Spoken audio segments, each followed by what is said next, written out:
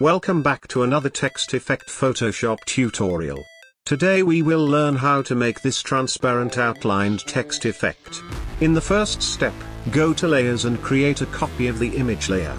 Select quick selection tool and click on select subject option. It will select the subject with the help of Photoshop AI. After making the selection of the subject, add a layer mask. Now click on select and mask, which will open a new window where you can adjust the selection and remove the background more precisely. Click on refine hair to precise selection of the hair. Scroll the sidebar upwards and select different view modes to observe the subject selection. Now choose selection from the output drop-down menu and hit OK. Press Ctrl plus D to remove the selection from the subject. Next, select the gradient fill to create a gradient background. Open the Reds, predefined gradient from gradients.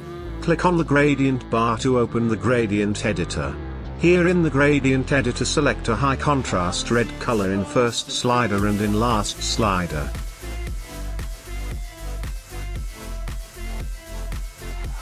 Create a new slider in the middle by just clicking and add a light red color. Hit OK and close the gradient editor. Now select the style of the gradient to radial to create a burst effect in the center of the background. Adjust the angle. Again, go to the gradient editor and adjust the color sliders to make the center color smoother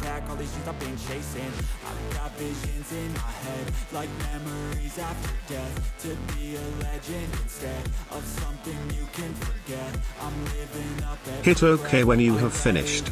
Now drag the mask layer on the gradient background.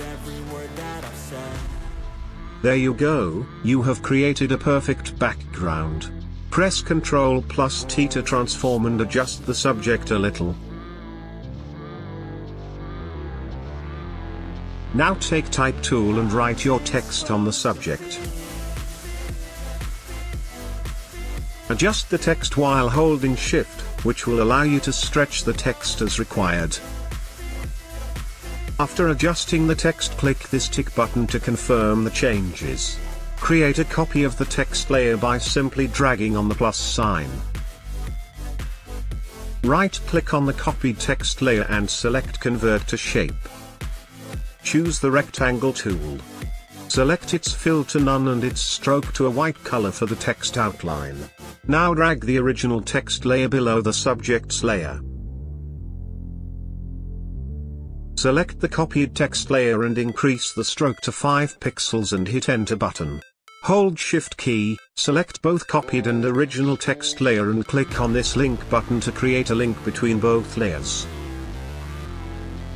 There you go, this is how you can make an outline transparent text effect in Adobe Photoshop. I hope you have learned something from this tutorial. Leave a like and subscribe to the channel for more graphic designing related tutorials. Thanks for watching.